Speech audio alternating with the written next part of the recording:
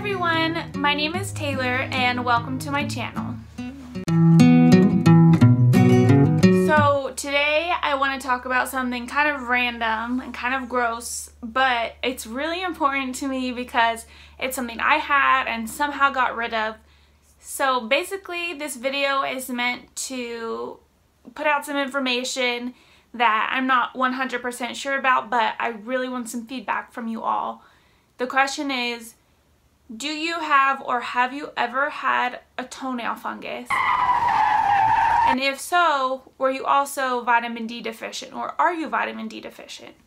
So, my story is that I had a toenail fungus. I got it back in high school, so this is like eight years ago. And I used to run track in high school, and I don't know if that's why I initially got the toenail fungus, but just like I remember it was about the same time. I was running a lot and I got the toenail fungus on the same toe, one on each foot. And I started using like these topical ointments you can get at Target or Walmart and you basically put it under your toenail and it's supposed to help the fungus go away. Well, it never really worked and I could never get rid of the fungus and I continued to have it there for like five more years.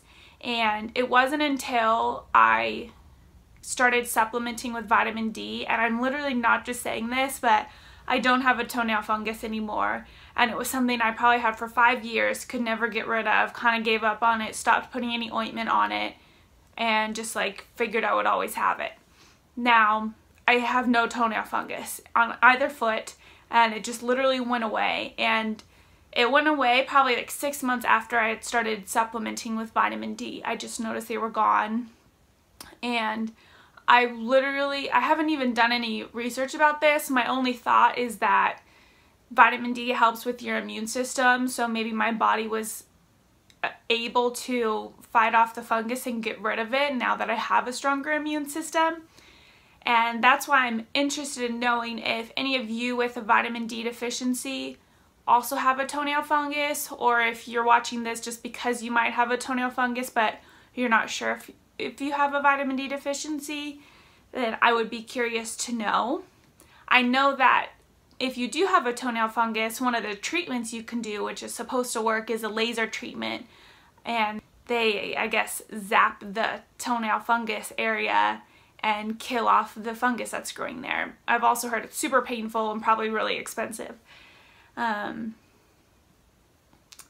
but yeah, I know this is really random. I just literally would like to know and hopefully can help people out there who have a toenail fungus. This is not something that I like want to talk about or share with people that I had this.